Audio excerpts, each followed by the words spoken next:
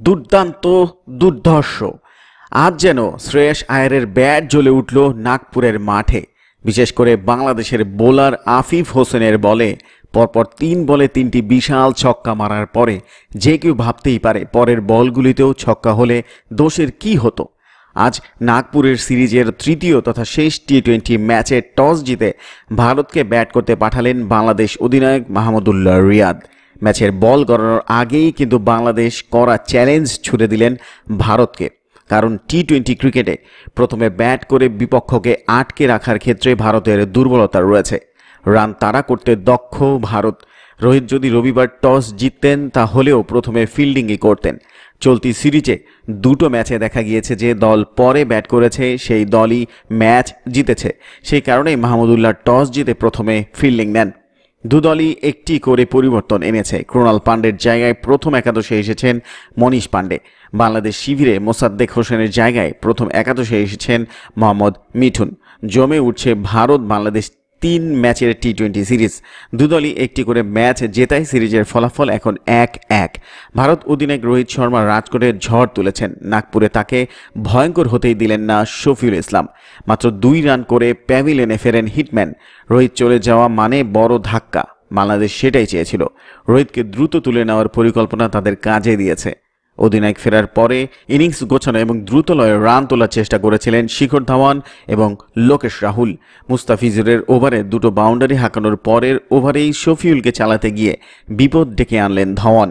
রোহিত ধাওয়ানের ধাক্কা সামলে ওঠার চেষ্টা করেছে ভারত। লোকেশ রাহুল ভালো ছন্দে ছিলেন। বাংলাদেশ বোলারদের শাসন করে হাফ সেঞ্চুরি করার পরেই উইকেট ছুড়ে দিলেন তিনি। বাহান্ন রানে ফিরলেন তিনি। সাথে থাকে শ্রেয়াস আয়ার, নিজের জাত চেনালেন আজ। কতটা দুর্দান্ত ব্যাটসম্যান তিনি, তার দুর্ধর্ষ ব্যাটিং তাণ্ডবেই প্রমাণ করলেন। তিনি একের পর এক বাউন্ডারি হাঁকিয়ে এদিন তেত্রিশ বলে বাষট্টি রানের অনবদ্য ইনিংসটি উপহার দেন ভারতীয় দর্শকদের। এরপর সৌম্য সরকারের বলে আউট হন পন্ত আজও সুপার ফ্লপ। মাত্র ছয় রানে আউট হয়ে ফিরে যান। শেষমেশ মনীষ পান্ডে আর শিবম দুবের ব্যাটিংয়ে ভারত একশো চুয়াত্তর রানের এক চ্যালেঞ্জিং স্কোর দাঁড় করালো বাংলাদেশের সামনে। জবাবে ব্যাট করতে নেমে একেবারে বাজে শুরু করল বাংলাদেশ। লিটন দাস আর সৌম্য সরকার প্রথম ধাক্কায় আউট হলেন দীপক চাহারের বলে। এরপর মোহাম্মদ নাইম আর মোহাম্মদ মিঠুন দুর্দান্ত ব্যাটিং করে একশো দশ রানের বড় পার্টনারশিপ গড়ে।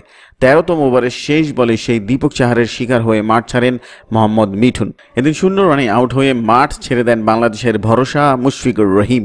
অনেক দূর যুদ্ধ করে শেষমেশ একাশি ব্যক্তিগত রানের মাথায় বোল্ড আউট হন মোহাম্মদ নাইম এরপরে ভারতীয় বোলারদের দুর্ধর্ষ বোলিং তাণ্ডবে বাংলাদেশের ব্যাটসম্যানরা আয়রাম গায়রাম অবস্থা। আর আর কেউ মোটেও দাঁড়াতেই পারলেন না। সে হিসেবে ভারত তৃতীয় টি টোয়েন্টি জিতে নিল তিরিশ রানের ব্যবধানে। সাথে সাথে টি টোয়েন্টি সিরিজ নিজেদের করে নিল। বলা চলে, আজ ভারত ব্যাটিং, বোলিং সব দিকেই নিজেদের চেনা রূপটাই দেখিয়ে দিল পুরো বিশ্বকে। আবার প্রমাণ করে দিল ভারত সেরা ব্যাটিং, বোলিং সহ সব ফর্মেটেই কনগ্রাচুলেশন টু টিম ইন্ডিয়া প্রিয় দর্শক, আমাদের এই প্রতিবেদনটি কেমন হলো তা কমেন্টস করে জানান। ভিডিওটি ভালো লাগলে লাইক দিন, বন্ধুদের সাথে শেয়ার করুন। ভারতীয় ক্রিকেটের সর্বশেষ আপডেট সবার আগে পেতে এখনই মাস ক্রিকেট ইউটিউব চ্যানেলটিকে সাবস্ক্রাইব করুন। নিত্য আপডেট পেতে বেল আইকনে প্রেস করতে ভুলবেন না। ধন্যবাদ।